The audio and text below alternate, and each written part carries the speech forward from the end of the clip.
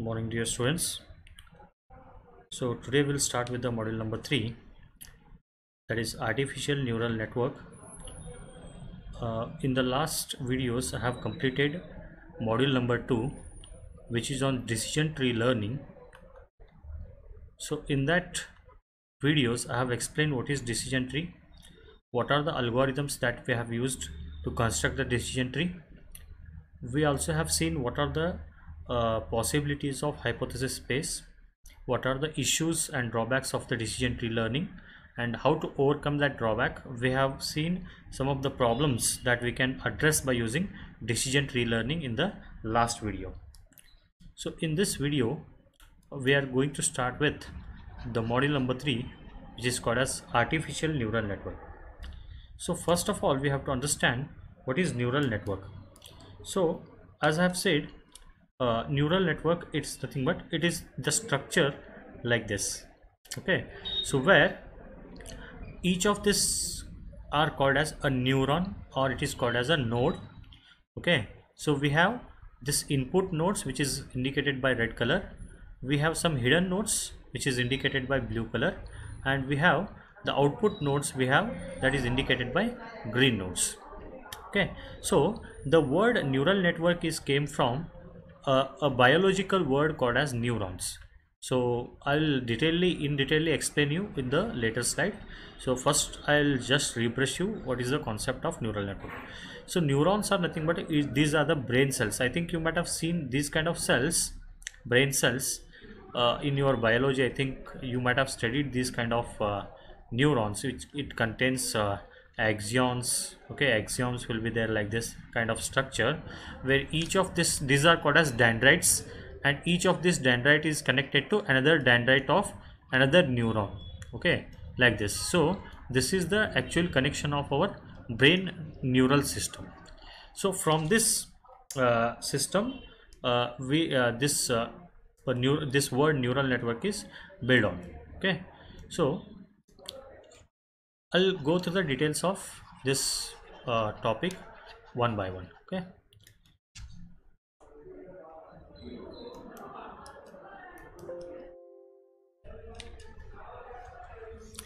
Right.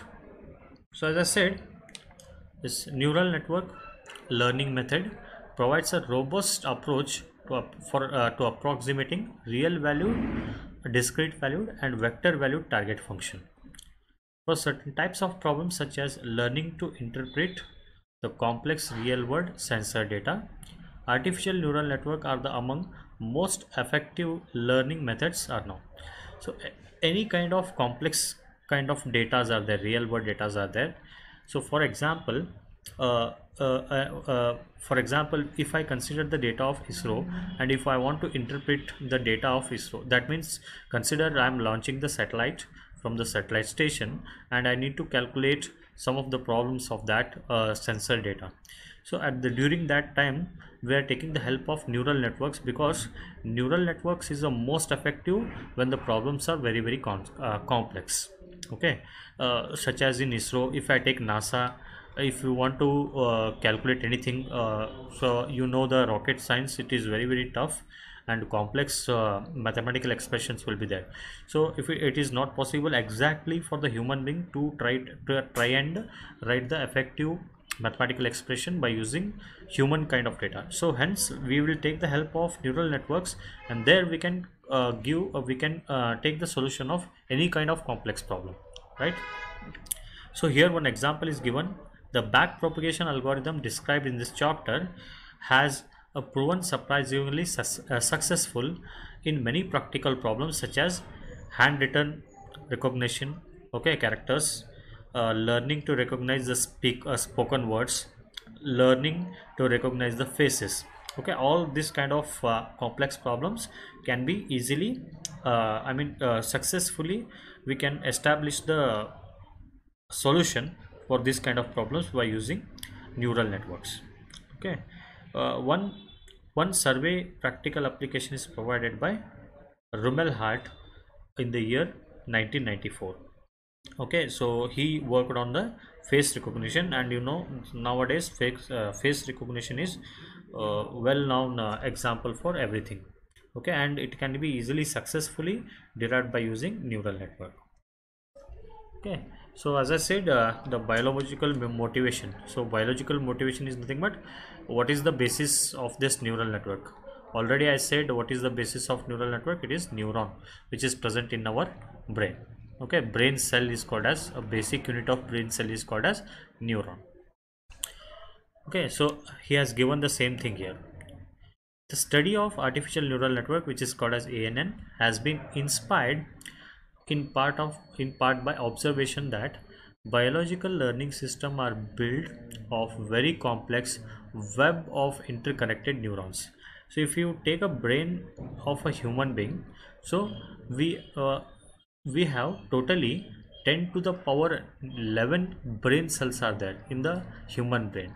So 10 to the power brain cells are nothing but the neurons which are interconnected by each other by using dendrites okay so i have shown you the structure of uh, this uh, neuron and uh, there is a part of neuron that connects with another neuron which is called as dendrites. Each of this uh, 10 to the power 11 neurons are interconnected with each other and uh, you will usually find the complex structure over there because 10 to the power 11 is nothing but it is a very very huge no number of uh, neuron and each neurons are interconnected hence the structure becomes very very complex. Okay so in a rough analogy uh, art, uh, artificial neural networks are built out of densely interconnected set of simple unit where each unit takes a number of real valued inputs and produces a single uh, real value output okay? So whenever we want to build any neural network so it has n number of inputs okay and then many hidden layers are there but surprisingly it will give only one output and that output is accurate output. Whenever we do any work on artificial neural network uh, please remember that our uh, performance output will be uh, maybe nearly 99% or sometimes it may be nearly 100% because effectively it will calculate all the complex data of mathematical strings okay? So hence neural network is very very popular in terms of complex problem solving. Okay right. So to develop a feel of this analogy let us consider a few facts of neurobiology. The human brain for example is estimated to contain densely interconnected network approximately as I said already 10 to the power 11 so approximately a human brain okay consider this is a human brain. It contains 10 to the power 11 number of neurons and each of the neurons are interconnected with 10 to the power 4 other neurons. Okay this is very important. So one neuron is interconnected with 10,000 10 to the power 4 is nothing but 10,000 other neurons. Okay so it is densely interconnected with each other. Neuron activity is typically excited uh, and uh, or inhibited through the connections to the other neuron. Fastest neuron switching time are known to be in the order of milliseconds. 10 to the power of minus 3 is nothing but millisecond. Quite slow compared to the computer switching speed which is nothing but 10 to the power of minus 10 which is nothing but less than nanosecond also. Okay. So 10 to the power of 3 is nothing but millisecond.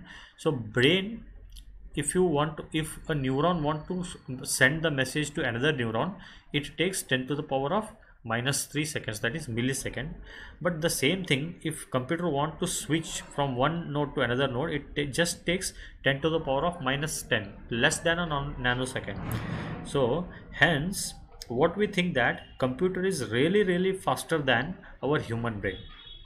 But surprisingly what happens is it cannot take the complex decision okay human can think and take the complex decisions or he can he can find out the solution of complex decision. But even though the computer is very very fast its switching time is 10 to the power of minus 10 seconds but it cannot take the decision very quickly like human beings. Okay so hence here he has taken it. Yet humans are able to make surprisingly complex decision surprisingly quickly. For example it requires just 10 to the power of minus 1 second to visually recognize your mother okay? So if you want to uh, consider your mother came okay? And if you want to recognize your mother it just take 10 to the power of minus 10 that is within 0.1 second you can recognize your mother father anything. But if any unknown person comes uh, consider you have met one person uh, from last 10 years you have not met him and suddenly he came to you. Now it takes two to three seconds if you know that person okay. Because um, many a times what happens uh, we uh, we want to forget something okay? Then if you want to recognize that it takes some somewhat time. But uh, it is really very faster if you want to recognize your family member. Such he has taken one example of mother. So you can take a family member who is living with you. It just takes uh, 10 to the power of minus 1 second. That is 0.1 second. Okay. So notice that the sequence of neuron firing that can place during this 10 to the power of minus 1 second interval cannot be possibly long longer than few hundred steps given the switching speed of single neuron. So what he's trying to telling is the sequence of firing that can takes place during 10 to the power of minus 1 second. Okay that is 0.1 second cannot be longer than the 100 steps. Okay few hundred steps given the switching speed of single neuron. We know that what is the switching speed of single neuron? It is 10 to the power of minus 10 okay? Now this 10 to the power of minus 1 becomes very very large when compared to the switching speed right? Switching speed is very few. It will take very few seconds okay? Very few means very minute but it's taking more than that okay? Hence what the uh, scientists thought that can we convert or can we implement a brain kind of thing in a computer? Okay can we implement a brain kind of thing in a computer? Because uh, as a human brain it is compared to uh, this computer it is very very slow. Okay but uh, compared to this computer human can take a right decision okay at a right time. Any kind of complex problem he can take a right decision. Why can't we build in uh, such a system in a computer so that computer can also take the right decision and it works like a human only. Uh, the brain of a computer should work like a human only. Hence the concept came into exist that is called as neural network. Okay. So the word neural is nothing but our neuron. Okay. Related to brain. Okay. So hence what scientists thought that we can create an artificial brain in a computer. Okay. Such that it can also take the complex decision within less number of time than minus 10 raised to power minus 1 because human brain can take uh, the 10 to the power minus 1 but computer we know its switching speed is 10 to the power minus 10 so hence the things are becoming very very faster. Okay the problems or a solution of the problems we can get very very faster when compared to human beings. So this observation has led to speculate that the information processing abilities of biological neuron system must fo follow from a highly parallel processes operating on a representation that are distributed over many neurons. One motivation for ANN system is to capture this kind of highly parallel computation based on distributed representation. So what happens here is we have 10 to the power of 11 neurons in a brain cell. So what we will do is we will divide our complex task in all the neurons so that it can work it can work very very faster. Okay? Parallelly. So parallelly is nothing but we are dividing one work and we are we are assigning that work to all the neurons and are the all the neurons are working on that problem then definitely we will get the solution in a faster time. Okay? In a in a very much small amount of time we will get the result. Hence it is called as highly parallel computation. Okay highly parallel computation is because of all the neurons are working very fastly on a single problem. We are dividing a single problem and uh, we are giving that problem to all this kind of neurons 10 to the power of neurons. So definitely our time will be very very faster. We'll get the result in very less number of time so most of the ANN software runs on a sequential machine emulating the distribution distributed processes. Although the faster version of algorithm have been implemented on a highly parallel machine on a specialized hardware design specifically from for a ANN application. So please remember that uh, this ANN application if you want to write a software on ANN uh, application uh, we should have highly parallel machine on a specialized hardware okay? It requires uh, uh, higher version of hardware higher version of software so that uh, your uh, result will be or we can generate a result in a faster manner.